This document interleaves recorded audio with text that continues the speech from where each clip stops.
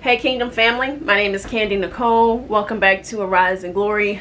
This word, I hope it is not all over the place. If so, I do apologize. I hope that you leave with the main messages that might be delivered here. So just now I was sitting at my computer and I was at work and um, a lady called in. She's uh she told me she's in California and 80 years old she works in the entertainment industry. She began telling me her whole life throughout this conversation. This was an hour long conversation, you guys. Um, she told me a lot about herself. She was so long winded that I Googled her. Okay. So I had a, a very vast uh, understanding of some things about this woman by the time I hung up with her. But God spoke to me through the conversation with her. After I got off the conversation with her, he spoke to me through some other things and what God wanted me to come on here and tell you guys is that um ain't no need to worry about what tomorrow's gonna bring. It'll be all over in the morning. I'm hearing trouble don't last always. I'm so glad trouble don't last always. So um the morning song I had been hearing that off and on the last few months. And as you know, of course, I would hear it and the morning will come and I would still might have the same issues laying before me. But trouble don't last always. Situations change, uh, tides turn, and things are changing. Things are rapidly changing. Um, God has been talking about how he is moving swiftly and there's going to be swift movements. He's also been talking about judgment uh, for the righteous and the unrighteous. Um, just now today he was talking to me about a few things this lady is 80 years old.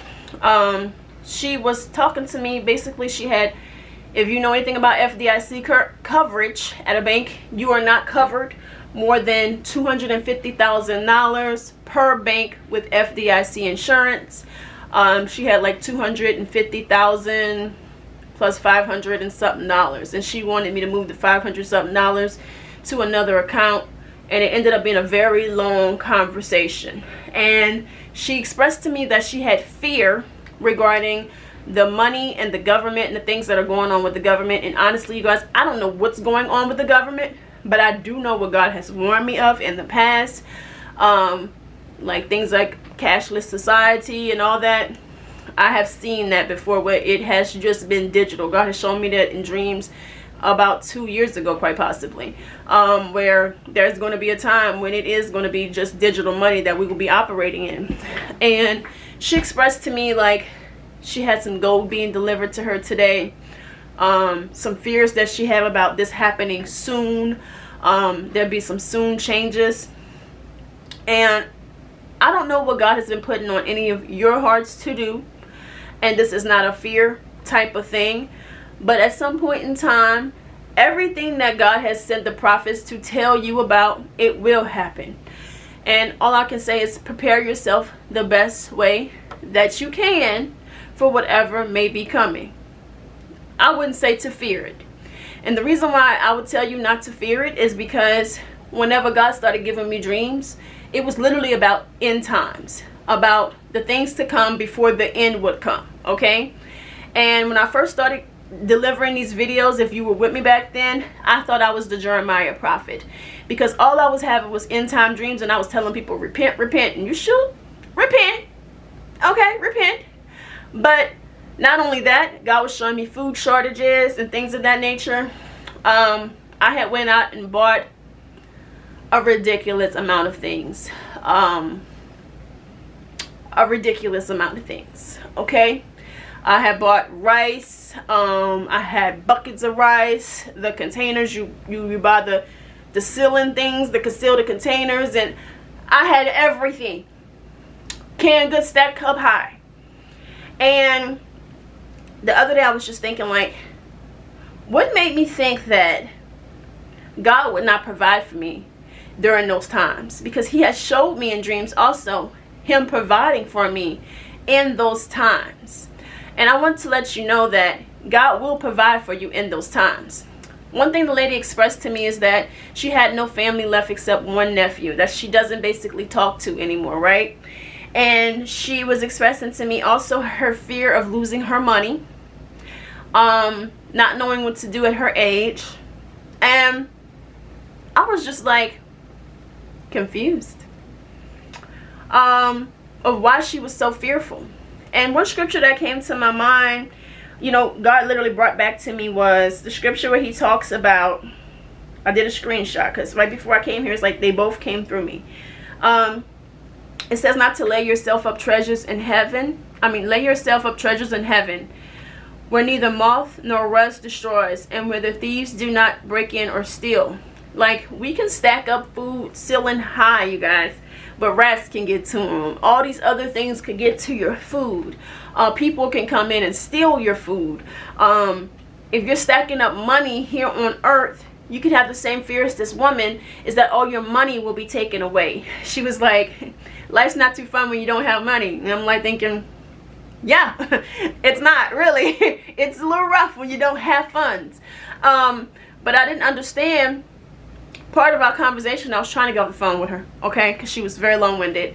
And I said, well, I hope your day gets better and better.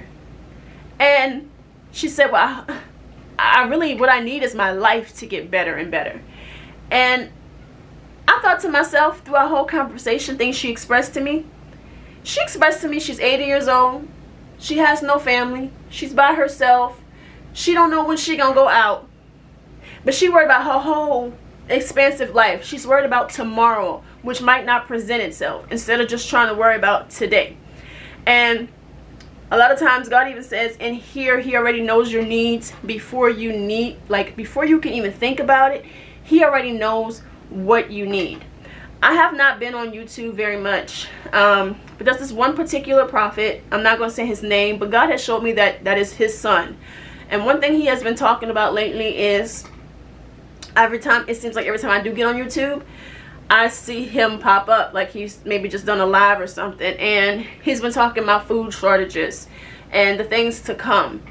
And I don't disagree with him. I will leave it at that. Um, there's some things that's been said to me in some of my dreams lately.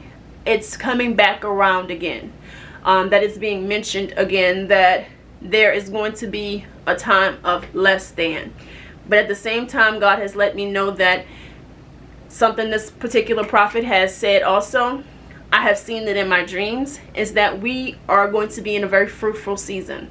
Um, God has showed it to a friend of mine, also regarding me a dream he gave them about fruits. Um, I've even seen like fruits hanging from my hair in a dream. Sounds crazy, but God continues to, um, not just for me. This is not just for me. I'm just relaying to you what I've seen in my dreams, but this is not about me. This is not about me. It's about you, his children.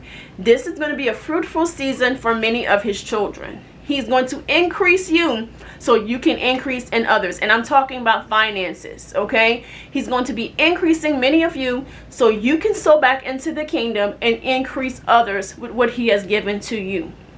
Um, what else God told me? Oh, these weather things, this is intentional.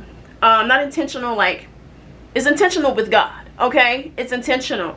And what I mean by that is, um, what's the other verse you gave me, Jesus? Um, okay, this is about the weather. He gave me Jeremiah 11, 11. He said, um, I will bring disaster upon them, is what I was hearing. I will bring disaster upon them. And it says in Jeremiah 11, 11, Therefore, this is what the Lord says I will bring on them disaster. They cannot escape. Although they cry out to me, I will not listen to them. So, the lady that was on the phone when she lives in California, she expressed to me how they had just had uh, these tornado like winds, flooding, the hurricane situation that went towards California, and how they were dealing with that. And in the midst of dealing with that, and that's scary for them, there was also an earthquake. So me being from Louisiana, I know how it is to go through a hurricane. It can be scary. We probably not really all that scared anymore. but I can I imagined the ground shaking as a hurricane is going on. And that is insane, right? And so I was talking to God after the conversation and I was talking to God about the conversation. And he let me know, he said that I will bring disaster upon them. And I went on Facebook, I was scrolling and I saw a post the lady posted about um the hot the fires in Hawaii and how Oprah had purchased land there like a 360 acres or 380 acres in that area around March okay? And she was saying well hmm isn't that odd? And I was talking to God about it and God let me know. God started saying um I start hearing after I read the post I start hearing burn it away. Burn it up. Burn it up. I was like huh? I was hearing burn it away. Anything that's not like you I want to be made new. So this is judgment that we are seeing these hot weather patterns these odd situations where there are hurricanes and different things in the weather that's going on in places that um, normally don't see this we will be seeing more of this. God brought me back to some things he showed me in the past that there will be a time where you see things happening in places it's odd. It doesn't belong there. You're going to see more of that. Um I think that's all I had to tell you guys. I know you're having a good day because you're claiming your day. Don't be like that woman worried about what tomorrow's going to bring. It's going to bring whatever it's going to bring. Make the best of right now, today. Control what you can, can, can control in your situation. Do what you can do about what you can do about it, okay? And what you can't, leave it at God's feet. Stop worrying yourself about things you can't change. You can't you don't have no control of the weather. You don't have no control of the government.